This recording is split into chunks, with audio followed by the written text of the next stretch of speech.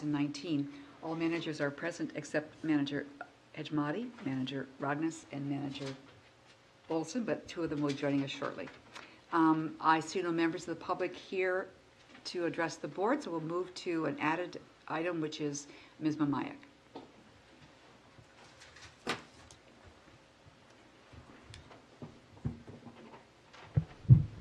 President White Managers, I just wanted to take this opportunity to uh, announce my resignation from the Watershed District because I've accepted a new position with the Minneapolis Association of Realtors. Um, My last day at the district will be Friday, September 6th. Um, I want to let you know that uh, this is a very bittersweet decision for me. I've been here for eight and a half years and have thoroughly enjoyed every moment at the district, uh, good and uh, challenging, right? You know, every organization has its challenges, but we've worked through those, and I, I carry all those memories with me, and uh, with with pride and uh, just with, with with joy too um, for the years that I've spent here. Um, I have great respect for each and every one of you and also all of the staff for the dedication that you have shown toward our water resources, um, all of the hours that you spend every month um, working on behalf of our water resources is really commendable, and um, I really do respect that. And um, I really have a deep appreciation for the work here, and I'm really excited to see the future success of the organization and all the work that you're doing now uh, bearing fruit. So um, uh, This is uh, goodbye for now, but I will stay in touch and uh, look forward again to seeing uh, what is next for the Watershed District. So thank you again for the opportunity to work here. Thank you, Telly. I just want to say how much I have appreciated working with you and, and just knowing you, and wish you every success as you go forward. And I hope that you will continue to be a friend of the Watershed District. Indeed, I will. Thank you so much, President White. Appreciate it. I think you. you set a, a standard for, uh, for somebody in your position, uh, using your skills and your profile both for our benefit. Thank you very much. Thank you. You will be missed, but congratulations. Thanks so much. Yeah. I appreciate it. Take care. Thank you. Mr. Wisker. I just wanted to say a few words on, on behalf of Minnehaha Creek Watershed District. I just wanted to extend our deepest gratitude to Telly for her dedication and service over um, her last eight and a half years. Um, You joined the organization back in 2011 when um, the board and the organization was really looking to expand and refine its communications programming, and I think that's exactly what Telly's done for us. During her time at the district, um, there's been more accomplishments than I can list, but Telly's really helped redefine our reputation um, in a strong way as a value-added partner in our pursuit of a balanced urban ecology, working with communities and the private development community. Um, Early on, you updated our brand manual, which seems like a simple lift, but it wasn't at the time. Developing a new logo and led a major update to our website. You really expanded our reach through uh, the skill set that you brought to the table, helping to cultivate, maintain relationships with the media. Um, Really dramatically, I think, increasing our positive presence across the, the metro news outlets um, the board, I think, enjoys now, and so do the public, all the efforts you've put into updating and standardizing our print, electronic newsletters, just improving the consistency and quality of our communications, and uh, the institution of our twice annual updates, both our mid-year and our look forward that are distributed to all the policymakers, capturing a, a new audience and, and expanding our reach there to, to priority audiences. And then there's all the significant events and event planning. And I don't know Oh what your gosh. background was in Let's not go there. event planning and event coordination, but you've done a lot of that for us with the creek cleanup, which reached, uh, you know, around 1,600 people at its peak. The Watershed Heroes events that were uh, an ongoing odyssey that uh, honor our partners' clean water accomplishments. And then a lot of those event planning culminated in the award-winning 50th year anniversary planning that you did with that sunset celebration with our public and private partners. And I think along the way, your work's been recognized a lot and appreciated by staff internally, the board, and uh, the recipient of, of numerous awards, a number of which are on the shelf behind you for the, we got Northern Lights Communication Award for High Water uh, Video Series back in 2014, um, the Association of Government Communicators in, in 19 that we just got for the Look Forward, and, and many, many more. And I think you're leaving us in a really good spot. It is bittersweet, and I wish you weren't leaving us right now because we've got a, a huge hill to climb, but you're leaving us in a good spot with the work you've initiated on the strategic communications plan and the website redesign. Um, And so we're, we're going to forge ahead, continuing to align our outreach programming and taking things to the next level in your stead. Um, But thank you. You've left a really impressive mark on Minnehaha Creek Watershed District, and, and we'll miss you as you embark on your next adventure. So please join me in thanking Telly for all of her valuable contributions. Thank you very much. Thanks very much. I don't know what to say. That's really very sweet. I appreciate it. And um, I will just say thank you again uh, for the opportunity and, and best wishes to all of you too. Thank you, Telly. Thanks, Telly.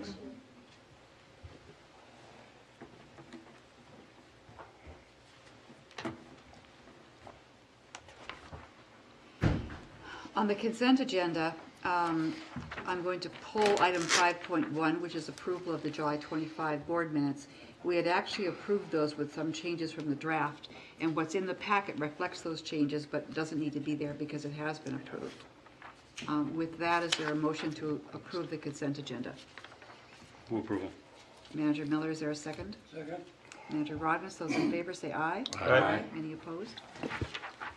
I ought to have stated that there was a resolution? Madam President, Yes. this is again, it may well be a case of my memory and Okay. age, but I'm wondering if we also approved the agenda. We did not. Thank you so much. Move approval. I was so Second. bummed out. Those in favor say aye. Aye. Opposed? Thank you very much, Mr. Wi- Mr. Smith, for keeping on the straight and narrow there. Um, By way of president's reports, I'll mention a couple of uh, kind of brainstorming sessions I've been involved in the last couple of weeks. Uh, The first was over, um, it was convened by MAWD after some discussions between Mr. Wisker and Emily Javens to talk about watershed um, consolidated or uh, consistent approaches to talking about the issues that have been raised concerning um, the cost of developments and, and uh, uh, permitting and that, that kind of thing. Um, And those were some good discussions, a lot of, lot of effort gone into it, and Mr. Wisker will talk more about that during his report. So I'll leave it there. Um, And then I also attended the Legislative Coordinating Commission Subcommittee on Water stakeholder meeting about their legislative agenda. Um, They had us talking about their issues and, and trying to narrow down what we thought were the priorities, what we advised them were priorities. They'll refine that and bring it back for another round of discussions. Um, You won't be surprised to hear that climate change got um, a lot of votes as being a high priority issue. Then, uh, Manager Miller, if you can give us a planning and, uh, policy and planning committee report? Uh, We had a, uh, a uh, presentation on the uh, engagement process for the partnership model, which is going to take place over the uh, next uh, 18 months or so. And uh, uh, the uh, process was well received by the committee. And uh, we'll be getting uh, monthly or, or, or, uh, or more appropriate uh, uh, reports of progress along the way. And we also had a staff report on the uh, Taft Legion Lake project updates, and, uh, and uh, uh, staff laid out a roadmap for uh, communicating and, and judging the success of that project. Thank you. Um, The CAC met, Mr. Ran- Manager Hejmati is not here, so Mr. Wisker, if you can give us a brief rundown there? Yeah, certainly. President White managers, so the CAC met last Wednesday, um, and the main focus of the agenda was on the, the budget levy and work plan overview. The CAC having reviewed that once before in June, so they got the detailed breakdown and then got a step through of the work plan and communication document. Um, As usual, they were fully engaged, a lot of good critical thinking questions, um, no recommended changes, um, and, and strong unanimous support for the clarity. I think we had a number of comments just about how clear everything's laid out for um, lay people understanding what the priorities are, um, what the expenditures are, um, why, what the public gets for it, um, and the revenue sources. There's also a report from their executive team um, from the meeting that they had had with myself and President White Um, General consensus there, and the report back was that the CAC sum totals feeling really engaged, more and more aligned. They're looking forward to the next six months of uh, their uh, committee agenda. And then there was a report from, I'm- I think it was Richard Nyquist. Um, He's an avid kayaker, Minneapolis resident. Um, He'd said in, in the last year, the creek's become less and less navigable as a kayaker. There's a lot of high water, a lot of downed trees, and um, the CAC had a brief discussion about the watershed district's role in maintaining navigability on the creek, um, with staff acknowledging that tree removal, debris removal is really the, in the realm of municipalities, private property owners. The CAC landed on um, wanting to provide feedback through the focus group sessions that were coming up and their engagement in IT, um, suggesting that maybe we build in an app or something to the website where people that are um, visiting our projects or kayaking the creek can report um, obstacles, the condition of projects, complaints as a way to kind of crowdsource information into the district about what's happening up and down the creek, what's happening with our projects. And um, I think that rounded things out. Thank you, It's a good discussion. thank you. Are there any other meetings or events managers would like to report on? Um, The upcoming meeting and event schedule is, of course, listed in the agenda, and um, Manager Maxwell and I will be attending the next Citizens Advisory Committee meeting in September. Um, We'll now move to the public hearing for the 2020 budget and levy. Mr. Wisker, open the public hearing.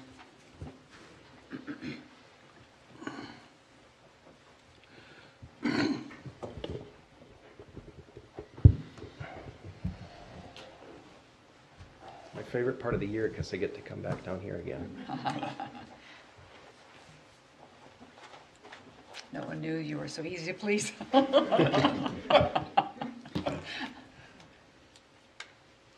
Okay. Well, thank you, President White. Managers here tonight, um, as President White mentioned, to provide an overview of the Watershed District's proposed 2020 work plan, its priorities, and the budget and levy that support it. And this is obviously um, an opportunity for public input into the process ahead of a final opportunity that we'll announce um, the next meeting in September for uh, the end of the year. There'll be an opportunity for public comment again in December.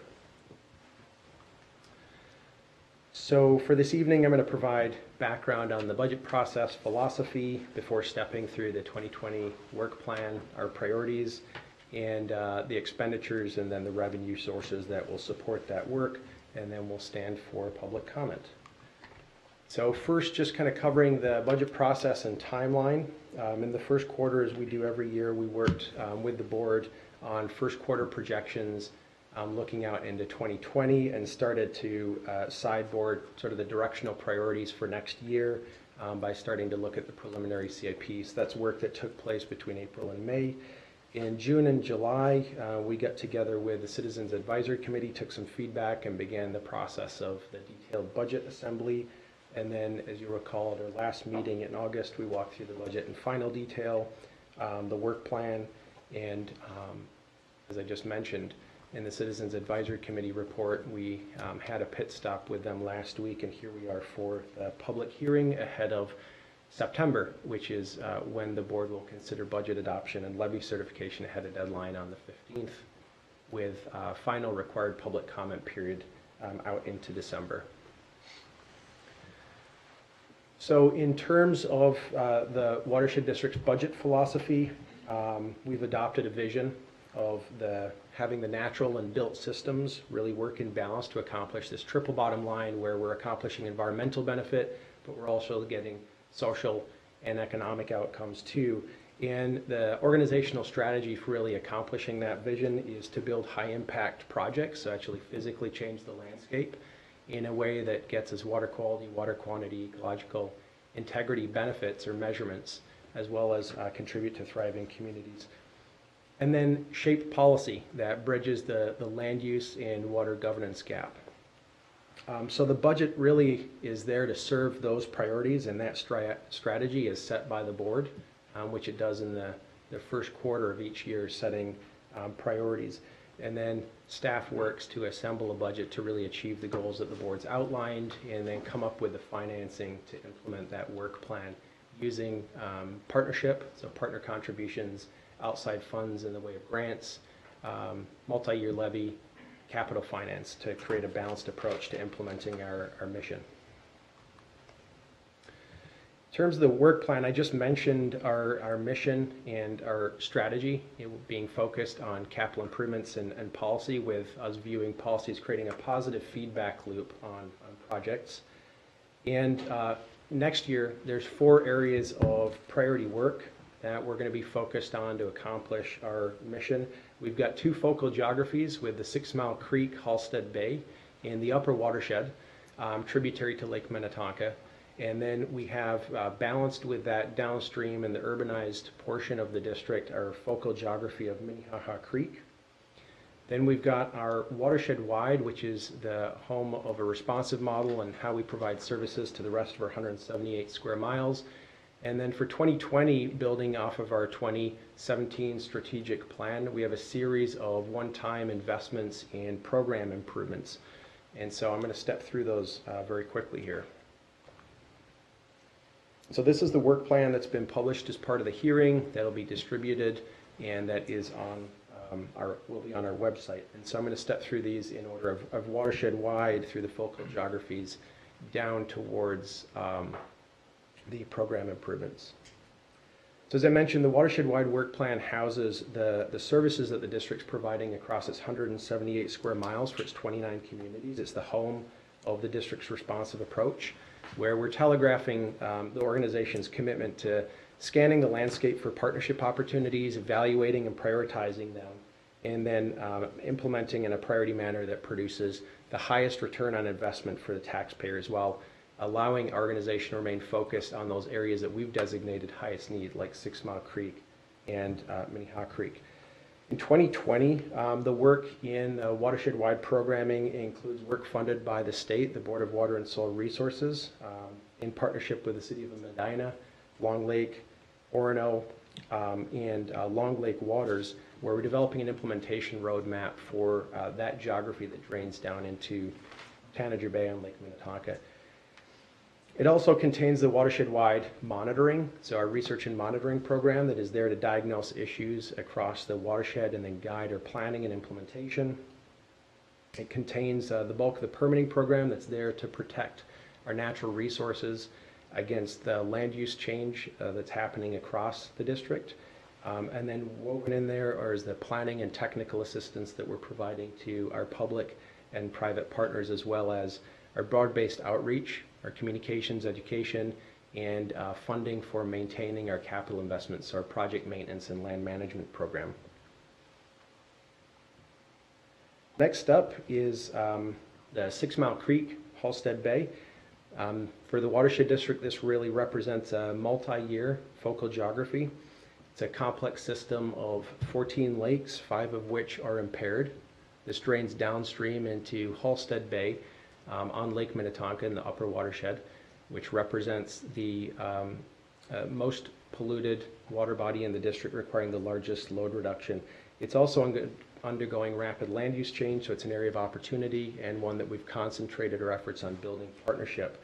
So we've been working and will continue to work with cities of Victoria, Minnetrista, St. Bonifacius, Three Rivers Park District, Carver, and Hennepin County, Laketown Township, um, and we've enjoyed support so far from Lessard-Sams Outdoor Heritage Council and the Board of Water and Soil Resources with grant funding and others to implement our strategy out there, which is really focused on uh, managing common carp, which are disrupting water quality inside the lakes, restoring and protecting wetland and upland corridors, integrating stormwater into the rapidly developing suburban landscape out here, and then managing within the lake the internal nutrient cycle.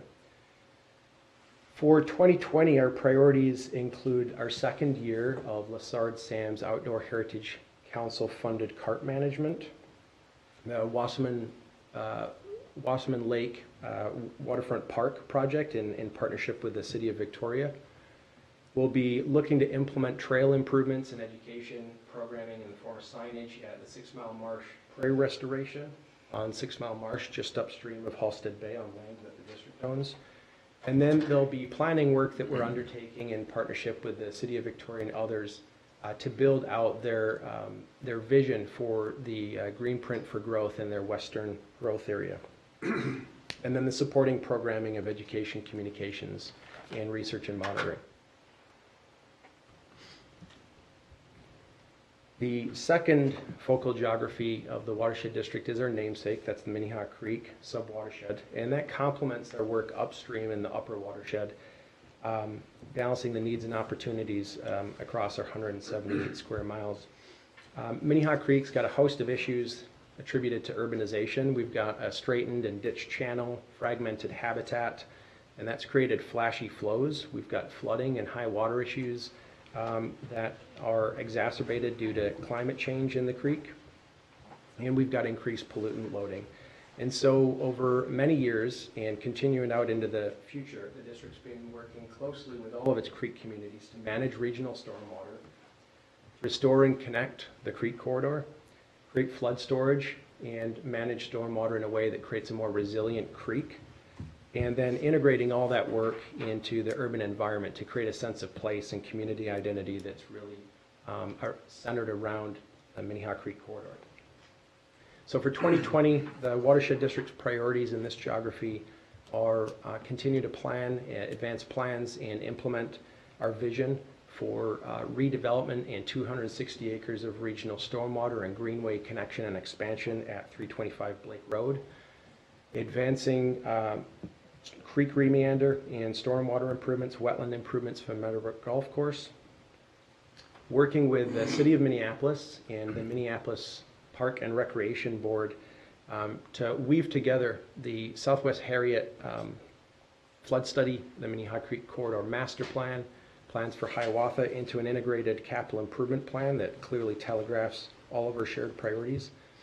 And then the education, communications programming, some of the placemaking, signage work around um, the creek corridor, the, uh, in the Minnehaha Creek Greenway, and the uh, ongoing gauging, diagnostic, and project efficacy monitoring work that our research and monitoring team um, will be implementing in 2020.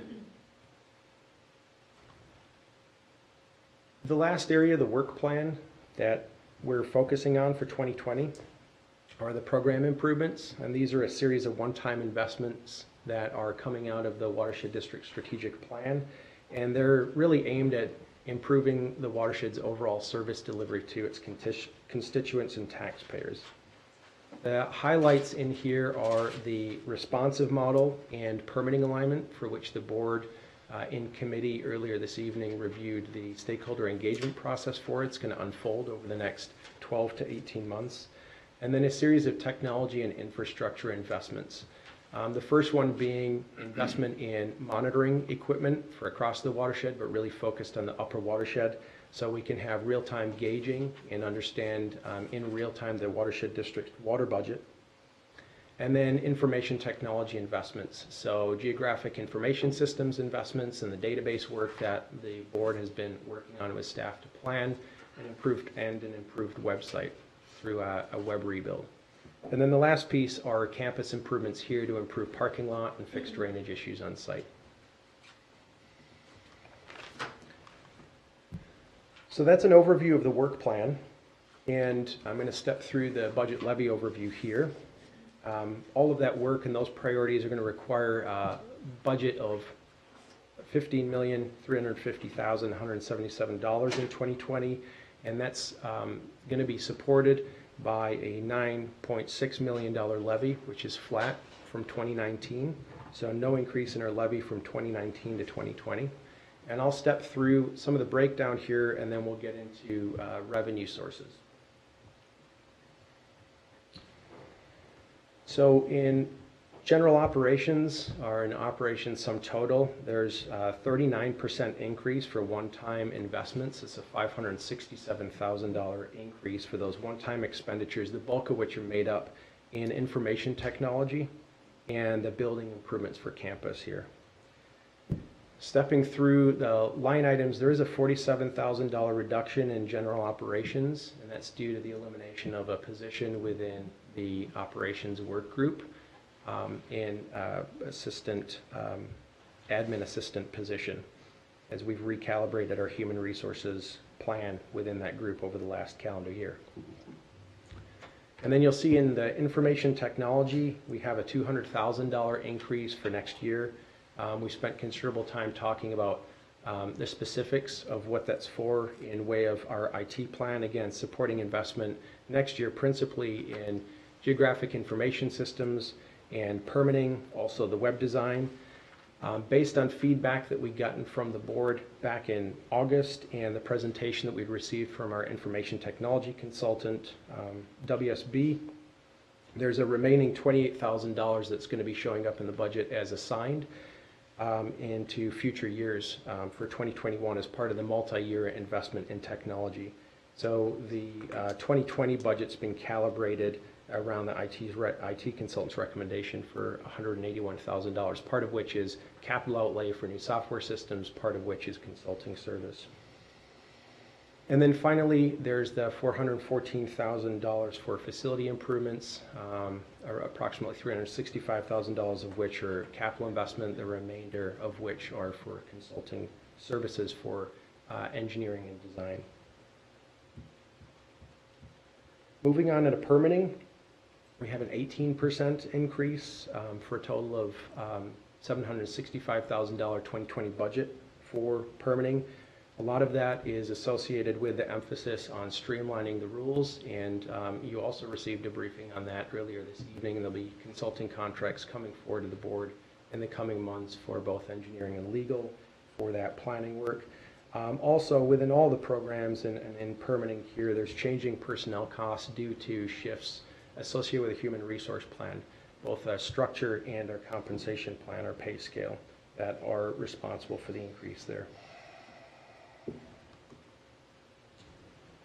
Planning and projects, the bottom line here is $96,000 increase, um, $1.9 million 2020 budget. It's a 5% increase year over year.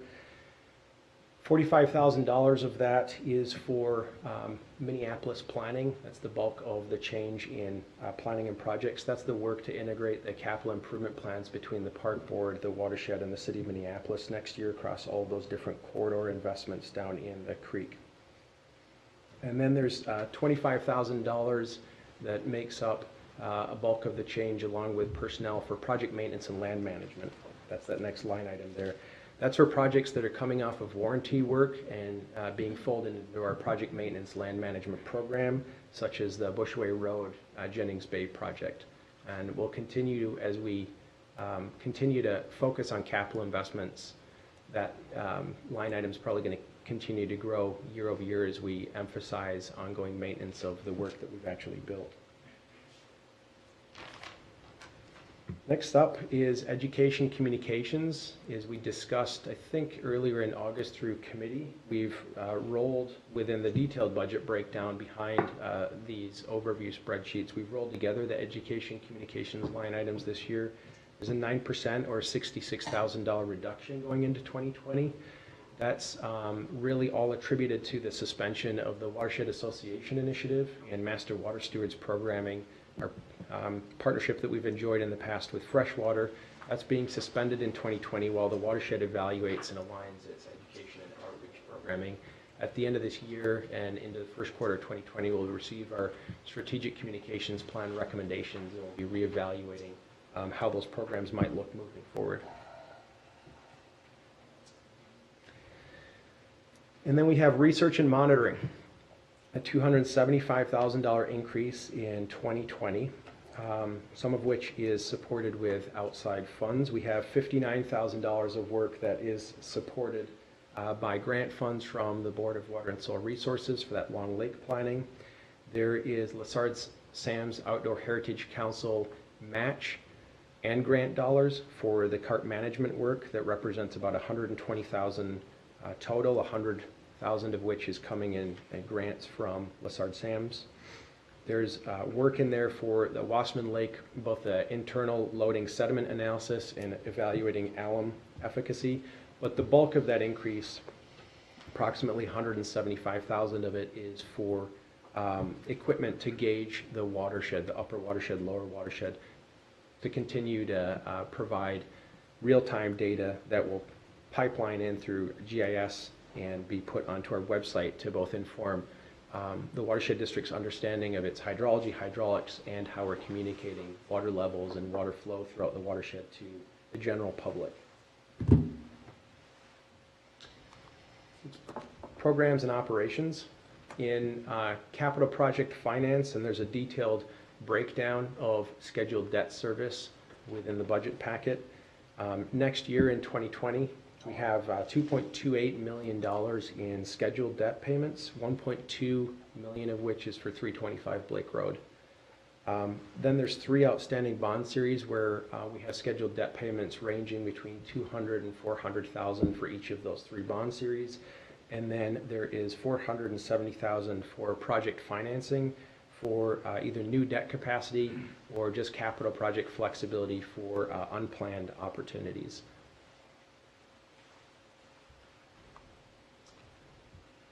Moving next to our capital improvement uh, program for next year, looking um, relatively flat between 2019 and 2020, around $6 million. $2.3 million of that is for the Wasserman Lake uh, Waterfront Park. 2 million of that 2.3 will be coming in the way of outside funds from the city of Victoria pursuant to a recently approved cooperative agreement.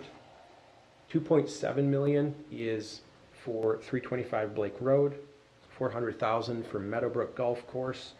We have 170,000 for implementing trail signage improvements at the Six Mile uh, Marsh uh, land that we own up west of Halsted Bay. And then there's 170,000 in um, debt payments that we'd be making to the city of Richfield next year for the Taft Legion project.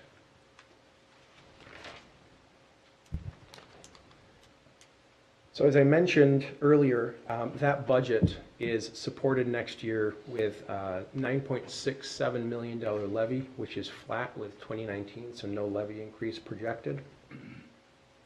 And uh, stepping through the, the rest of the balance of sources here, uh, we have 2.3 in assigned funds. These are funds that are levied over multiple years for a capital improvement program largely, and then left assigned.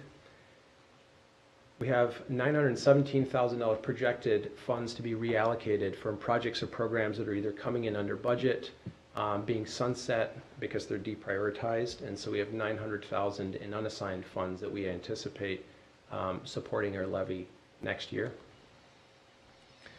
And then we have 2.2 million coming from outside the organization in way of grants or partnership contributions. I mentioned 2 million from the city of Victoria for Wasserman, uh, around 100,000 for our second year of implementation with Lessard-Sams Outdoor Heritage Council, 60,000 from the Board of Water and Soil Resources for the Long Lake planning work, and then there's a residual payment coming in from the city of Edina for the closeout of Arden Park in 2020. The last line item there, interest, permit fees, and reimbursements. So um, to wrap up, uh, the boards really continue to emphasize this year, as it has in the last couple of years, the importance of aligning programming around its capital project and, and policy strategy.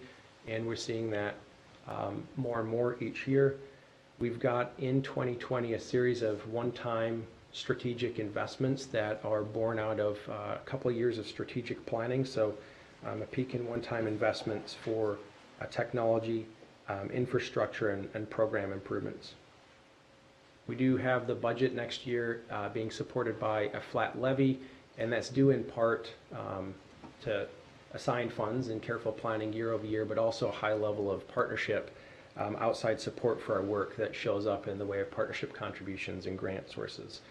And as I'd mentioned earlier, we've heard from uh, hopefully the board by now, because you've been working on this for a number of months, but also from the Citizens Advisory Committee, that the way that we've put the budget together this year is hopefully a pretty clear communication of what our priorities are, um, how they support our organizational strategy, the outputs that people get, and most importantly, um, what we're spending the money on and where the revenue sources actually come from. So in terms of next steps, um, this evening we'll consider any public comment that um, needs to be entered into the record, and then on September 12th, we'll be asking the board to consider work plan approval, and then adoption of the budget, certification of the levy, and that'll be when we'll ask the board also to announce the December comment opportunity. Thank you, Mr. Wisker. There are no members of the public here, but did we receive written comment? Uh, President White managers, we haven't received any written comment as of the meeting. Thank you. Then I will close the public hearing. So moved. Thank you, Mr. Wisker. Thank you.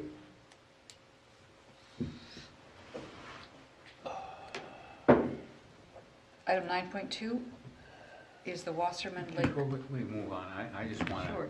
to comment on the, the clarity of the whole process. Uh, Whole budget was developed around policy rather than numbers. And it really gave a, a great sense of comfort to know what direction we're going and how we're, how we're paying for it. And I also want to thank uh, uh, Manager Loftus for uh, her uh, digging down into the, into the numbers and making sure everybody felt informed and comfortable with every aspect of the, of the budget. That was very helpful and I really appreciate the work you did on it. Thank you, Manager Miller. Well, I Any- was- if I could, I Yes. just wanted, I know all the staff Turn your mic has on. really, yeah. All the staff has really worked hard on the budget, and I appreciate that. And a special thank you to Ms. Christopher and Mr. Wisker for all their work. I agree with James and um, Dick that it's just really clear. The way you presented it tonight was really well done, too. And it does, our communication tools, the work plans really illustrate what we're gonna accomplish next year with the money, and I appreciate that. And then, um, I think the public should really appreciate that you're doing it without increasing the levy, so I think you've done a great job. Thank you. Thank you to the board for all their hard work and echo Manager Miller's sentiments in thanking Manager Loftus for always asking the right difficult questions. You sure that's right, thank you? difficult. Thank you. Anything else before we move on? Thank you, everyone. Um, Item 9.2, Wasserman Lake Park, Ms. Brown. Thank you, Thank you, President White and managers. Um, We have several orders of business this evening related to the Wasserman Lake Park project. Um, The sort of main event is awarding the contract for uh, park design um, and construction oversight, um, which is going to position us to, to move forward towards 2020 construction. Um, Prior to that action item um, pursuant to Minnesota statute uh, 103B.251 um, concerning capital improvements uh, by watershed districts, um, we will need to undergo the formal ordering process for the project, um, which includes a public notice, um, a public hearing, and formal board action. Um, We have previously ordered aspects of this project, um, specifically prior to acquiring the land. Um, We did undergo uh, um, an ordering process. However, at that time, we were operating under a different cooperative agreement where we had more limited involvement in design. Um, So we had only ordered that aspect of the project, that was the the acquisition. Um, So the way I'd like to uh, sort of manage this item this evening is I'll provide some um, project, project background uh, for the purpose of the public hearing, um, pause for any public comment, and then we can proceed to the action item 11.1. I don't know if I said it formally, but we open the public hearing. Thank you. Thank you. Uh, So the Wasserman Lake Park site um, is a 33.5 acre site. Um, It includes a six acre pond, uh, 16 acres of wetland, eight acres of upland, and about uh, 700 feet of stream channel, um, as well as an undisturbed wooded bluff along the shoreline. Um, This project is a partnership between the City of Victoria and the Minnehaha Creek Watershed District. Um, And we had first identified um, an alum treatment on that six-acre pond um, as a key strategy to improve the water quality of Lake Wasserman, to reduce the phosphorus loading um, into Lake Wasserman. Um, And then as we were sort of completing our work on the uh, Six Mile Sub Watershed Plan in 2017, um, this parcel was put up for sale on the, the private market. Um, and we approached the city about partnering um, for a broader site improvement that would not only increase the natural resource impact of this project, um, but would also create uh, recreational amenities and some educational components around um, the watershed. Um, so in 2017, uh, the board approved a purchase agreement for the Wasserman West site. Um, a condition of that purchase agreement um, was that we would um, negotiate and execute a cooperative agreement with the city that would spell out the terms under which we would develop this park concept. Um, that cooperative agreement was executed in uh, later in 2017, in May of 2017, um, and included the terms under which the city would become the eventual fee owner, with the district um, retaining easement. Um, and then at that time, it spelled out um, how we would collaboratively develop uh, concept design, um, but then we would sort of be handing off the concept design to the city for final design and implementation. Um, and then another key aspect of that first cooperative agreement was it spelled out how we would allocate uh, improvement costs. So the city would be solely responsible for the park and recreational aspects, and the district would be um, managing the alum treatment and then any natural resource enhancements. Um, we then worked uh, through the first part of 2018 with city staff to develop the concept plan um, featured on this uh, this slide right here, um, and then sort of coming after the completion of that concept design, worked with the city, um, their policymakers and staff to develop an implementation framework and then a financing plan that would allow this project to be constructed in 2020. Um, and the intent to uh, construct in 2020 and then the terms under which we would move through final design and ultimately construction were spelled out in the second cooperative agreement um, approved in May of 2019. Um, we've talked extensively about that cooperative agreement, so I'm just going to run through some of the highlights. Um, within that second cooperative agreement, we changed the terms of design, uh, where the district and city would share equally in the cost of developing the final design um, and construction documents. Um, it held the uh, allocation of construction costs the same in terms of city funding the recreational aspects, um, but it uh, had the district playing a, a, larger role in construction oversight and really leading in construction oversight um, and sharing costs of any contracting related to that oversight work. Um, it spelled out the terms um, under which the city would, could finance the project, um, either using Carver County's um, the, the, the agreement that the district has with Carver County, um, their master finance agreement, or financing it themselves. Um, and then finally, it spells out the terms of the title transfer, where uh, title will not transfer on the site until the bid has been awarded for the project. Um, the project budget is based um, directly on the concept plan that was mutually approved by both agencies. Um, so the park amenities are um, estimated between to be between 1.7 and 2 million dollars. Um, all of those allocated again towards to the city. Um, the elements of those park amenities will include a shelter, trails and boardwalks, some programmed areas around the shoreland, um, as well as a, a children's play area. Um, the site restoration um, estimated budget is approximately 300,000 and that's a district obligation. Um, and that'll include uh, restoration in the stream channel um, and some opportunistic uh, investments in vegetation um, around the wetland as well as the woodland. Um, I've also included on this slide the alum treatment, although that's budgeted for and, and managed separately. We have a grant with uh, the Board of Water and Soil Resources for that work. Um, but the alum treatment is also a component of the, the district's obligation in all of this. Um, so that is the background I wanted to provide, and so we can pause there. The, Do uh, board members want to make comments?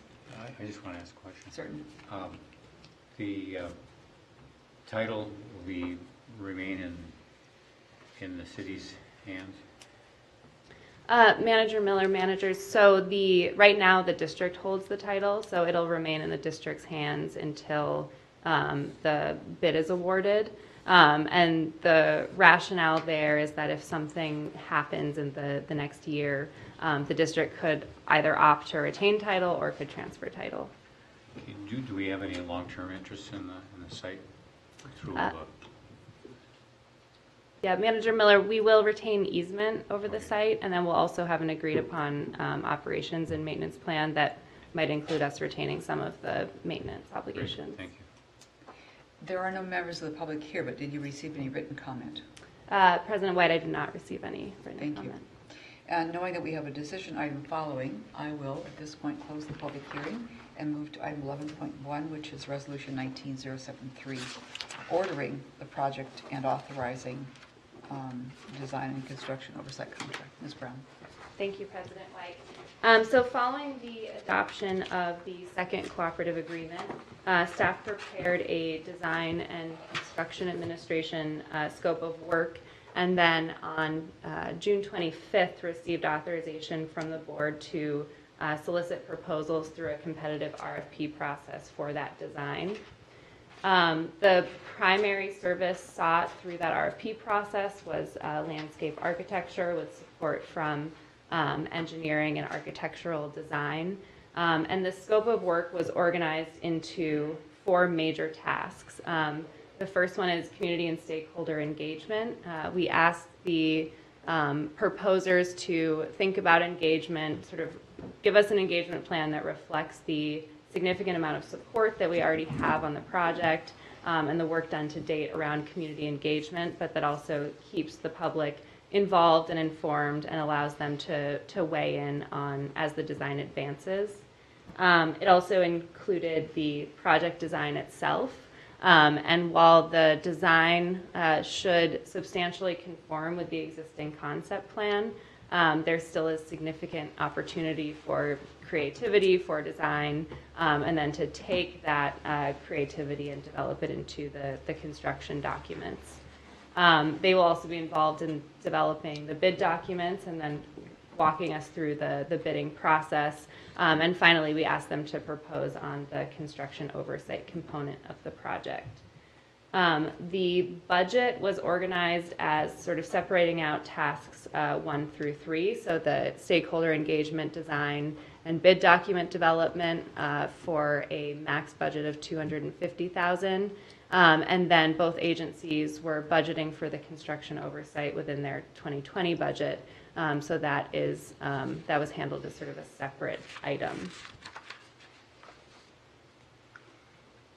Um, The RFP opened on uh, June 26th, was sent out to our list of of vendors, um, and was open for about a month, closing on July 22nd. Um, We received a total of 12 responses, um, which was great, um, from a lot of really uh, top landscape architecture firms in the metro. Um, The initial evaluation uh, was done by using this, this matrix shown here, um, and a team of city and district staff uh, ranked and reviewed all of the proposals. Um, We then selected three finalists to um, bring in for interviews, and then um, ultimately uh, came to the unanimous recommendation to uh, award the, the contract to Ane Fernandez Landscape Architects. Uh, Why did we select Ane Fernandez Landscape Architects? Um, A few of the things that really stood out to staff through this review process um, is that the um, owners of the firm are the ones who are directly engaged in the design and running the design. So there's um, a, a lot of buy-in from the whole firm in this design process and in the outcome of our design. Um, we felt that the level of creativity and just their aesthetics really aligned well uh, with, with that of the district and with the goals um, and the vision of the district. Um, the team has extensive experience bringing their designs to life and actually constructing them in the ground. Um, so while they're highly creative, their designs are, are practical and cost effective so that they will ultimately be built. Um, we felt that they really reflected the model of partnership with the client that we enjoy with all of the consultants that we work with. Um, and finally, we just heard really glowing references um, from other folks that have, have worked with Ane Fernandez. Um, really, one of the opportunities that presented itself through this RFP process is to have 12 new firms um, sort of weighing in and thinking about this project. Um, and through that process, we got some insight into what some of the major um, sort of challenges might be as we move into this next phase. So I wanted to take the opportunity to kind of brief the board on what we heard because those are probably the things that we'll be mostly working through as we move into this design process. Um, one of the challenges that was raised is the um, site entrance. So there are wetlands on either side of the sort of entry road here.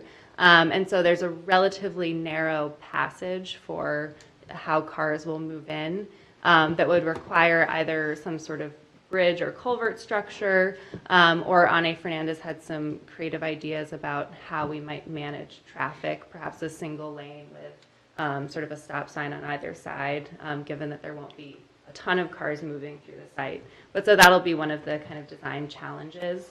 Um, another thing that was raised is construction at the sort of North Island area here. Um, it's right now you can't access it um, in you can only access it in the winter. Um, so any construction out there will will have to be in the winter, um, and it's also just going to be more expensive to construct out there. So their recommendation is going to be to look at something with a lighter touch out there. So we're not building a big structure or having a lot of um, bituminous trails. It would be something a little lighter that would kind of get folks out there. Um, related to that is the uh, boardwalk construction timeline, and we were certainly aware moving into this that um, boardwalk construction is best done in the winter. Um, and we were thinking that that meant that that would probably be the last element to be constructed. But again, Ane Fernandez, with their ingenuity, uh, raised the possibility of advancing that uh, bid package forward sooner um, so that we potentially could target winter construction this year to at least get the helicals in so that when we finish the summer, fall construction of the rest of the park, the whole thing will be complete. Um, there is still some open questions about the shelter, uh, what the correct size is, what, whether the restroom should be attached or detached, um, and they'll work through that with us. Um, some questions around the restoration concept um, that both our staff and uh, Landbridge Ecological, who's their um, their consultant for that aspect, will work through. I think the biggest question is how much investment do you make um, in the wetland, knowing that it's a large cattail dominant system? Um, do you do just some enhancements along the fringe and focus rather instead uh, more in the stream channel and the woodland areas? Um, some questions around parking lot size, whether we really need, I think there's 50 spaces in the concept plan right now, or if we could uh, perhaps shrink that. Um, and then the last thing is uh, determining what the right amount and kind of configuration of the, the trails and boardwalk um, are, particularly as you get out into the peninsula, which is more narrow and you don't want to be too aggressive with, with the number of trails. Um, so these are all just the things that we'll be be working through with them as we as we move into design. Um, a brief rundown on schedule, and um, their proposal does include a, a detailed um, schedule, but this is just sort of a general overview. Um, another challenge that everyone raises is that it is a really aggressive schedule, so we are planning to hit the ground running next week. Um, and then uh, we'll be working hard through December to get to 90% design um, by the, the beginning of December. Um, so we'll start with sort of a pre-design phase um, where, where we will really be kind of proofing out the concept plan. They want to get their estimators in right away to make sure that the cost assumptions are, are correct um, and just kind of proof out the ideas in that existing concept plan. Um, the schematic process will really focus on kind of the programming aspect of the site. How do we want to um, focus on, how do we want to bring people to the shoreline areas? What does the children's play look like? Um, so in that process, we'll have our public engagement meeting, uh, which they've proposed to hold on site um, and kind of have stations set up where some of these elements might be so that the public can kind of wander the site um, and talk about what might be at these different stations. Um, and then we'll conclude that phase with a uh, meeting with Victoria's Park and Recreation Committee. Um, we'll then move into design development, where you're taking those concept drawings and um, developing your your first run of a, a full design uh, plan set. Um, and that phase concludes with uh, both council and board review, um, and that's that's spelled out in our cooperative agreement. Um, and then moving into the construction document preparation, which will have to be approved by both uh, council and board, and then finally um, bidding in late December, early January. Um, so while these are kind of the formal touch points with uh, council and board, um, because we're going to be moving through this so quickly, we'll give routine updates to the board, um, probably in committee, um, so that as we're kind of making decisions and, and reaching um, design direction and design consensus, the board is well briefed before 60% or 90%. Oh, and then the other thing I wanted to just note is that if we were to advance that boardwalk concept early, um, we'd probably be coming out of sixty percent and going to, to bid that boardwalk work. So, um, the budget for this work, the total contract amount, um, is about three hundred and five thousand. Um, the tasks one through three, so where the budget was two hundred and fifty thousand, is approximately two hundred and forty-nine thousand. Um, and then the construction administration budget, again, budgeted, uh, for, through twenty twenty, is about fifty-six thousand dollars. Um, the costs Can I of, ask a question on it? No, Madam President. Yes. Um, The, that seems, you know, I don't know the scope, of it, you know, can't picture it, but uh, the amount of, of uh, construction oversight that's on Arden Park is just enormous. Uh, And it loo- it looked like it's, it's re- it's required, because it's pretty, more complex, but is, you, you think that's enough? uh, manager Miller, managers, I think that's the item that could possibly change as we actually get into construction. Um, I think the, the value of including it in your initial design package is that you're gonna get a more competitive proposal. Um, and so I think it's the right move to include it now in the, the contract, but, um, there's a lot of assumptions built in there, and, and once we're actually getting closer to construction, I think we'll potentially have to revisit. Um, but this is a different approach for us. I think we typically hold off on contracting for constru- construction administration. So maybe we'll learn that that's a, a more efficient way of doing it. If I is there any uh, benefit to have another party doing the construction administration, other than the designer? Uh, Manager Miller, manager, I think that even with, with Arden, the designers are, remain pretty involved in the construction oversight. Um, so it's possible that there would be elements that we would identify another party that we'd prefer um, to have doing the oversight, but um, I think that there's a lot of value in them being there.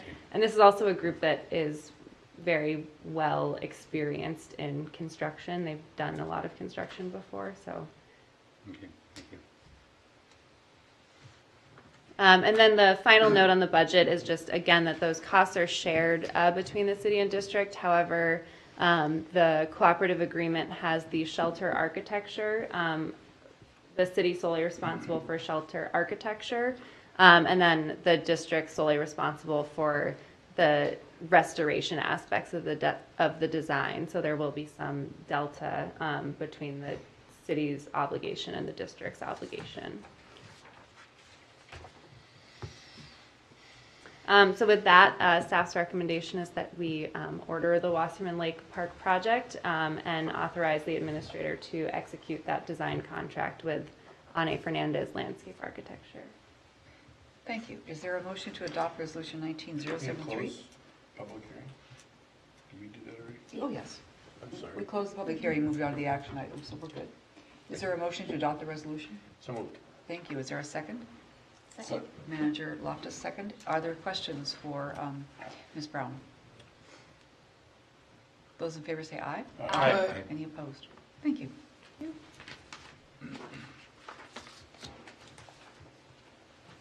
We'll move to item 11.2, Resolution 19074. Um, And I see Ms. Christopher subbing in for Mr. Hagan. It's Mr is vacationing with his family, so I would cover this. Um, Madam President, managers, um, tonight staff's requesting uh, adoption of the annually revised um, capital improvement plan. Um, As you know, each year the district updates its 10-year CIP uh, based on additional analysis of projects that are in the plan, um, new opportunities that are identified, um, as well as just assessment of staff and financial capacity each year. Um, And then we send it out to our cities and counties for 30-day review and comment. So in June, uh, the board reviewed the CIP and authorized distribution um, for comment. And this year, we heard from staff at the cities of Plymouth and Edina. Um, Neither requested uh, changes to the CIP, but really used it as an opportunity to um, flag some future partnership opportunities um, that are in the city's own CIPs. And so staff will continue to um, coordinate with the cities to evaluate those opportunities as they move forward. Um, But uh, given that there were no changes requested, um, staff is recommending approval of the CIP with no further revisions. Any questions? Thank you. Is there a motion to adopt Resolution 19074? So moved. Manager Rogness, is there a second? Second? Manager Miller, are there questions for Ms. Christopher? Those in favor say aye. Aye. Aye. Any opposed? Thank you. 11.3, Resolution 19075, Ms. Reynolds, authorization to purchase and install a replacement server. Thank you, Madam President. Managers, um, tonight I am here uh, requesting the board's authorization to purchase and install a replacement server. We've discussed this at a couple of committee meetings leading into this when we were discussing budgets. Um, Our current server is uh, in due of, due to be replaced, but in light of the IT update, um, it's really becoming that critical first step. Um, Most of the systems that we are evaluating will require a newer- newer server um, with increased speeds in order to be able to operate it. Um, Looking at that, we asked our managed services provider to provide us an estimate a- for what the server would look like and the cost, and they came back to us with a cost of $91,321.44. Um, I am asking for an authorization for up to $92,000, which gives us about a 6.8% contingency on the labor only. Um, Their estimate was $10,000 for labor, and that assumes the ability to utilize a certain amount of our monthly um, hours that we have for IT help desk support. So if we do not have very much need for a help desk, then they will be able to utilize more of those hours in the server and our costs will go down. Um, But just kind of as that fluctuates, um, the needs fluctuate as well. So that's the 6.8% is approximately five and a half hours of labor in the server update and the server build. We did look at options with state contract, um, and some items were available under state contract and would come in at a lower rate, but other items were not available under the state contract and would increase the rate um, and had an increased cost. Um, So overall, the staff has looked at this, and we recommend that we just move forward with our managed services provider and their quote and being able to purchase everything as of one from them. Um, Don't have anything else for you. If you have any questions about the server, I'm more than happy to answer them. Thank you. Is there a motion to adopt the resolution? So moved. Manager Olson, is there a second? Second. Manager Maxwell. Um, And I remember, I think in the, the report that um, if you use the state uh, pool, you would also have time lag. Correct. Time is uh, im- important here. Yes, President White. Um, Under the state contract, most things are considered custom-built, which means you have to go to the factory and wait for them to be built. Um, We did use that with our laptops, with a standard replacement cycle, that was not a concern. Um, But the three-week delivery time frame that they told me it would be turned into 10, and by the time I got the last computers, it was almost at 12 weeks. Um, And given the timing, I, that's why staff is making the recommendation to move forward with the managed services provider. Thank you. Are there other questions for Ms. Reynolds? Is it an ongoing service contract? Our, with our managed services provider, yes. for how many years? Um, we're under, next year, we will be uh, redoing our contract for all of our um, kind of support consultants. Oh, so So we do a back next two-year year. RFQ process for them. Every two years. Anything else? All those in favor say aye. Aye. Any opposed? Thank you. Thank you. Uh, We'll move to the administrator's report, Mr. Wisker.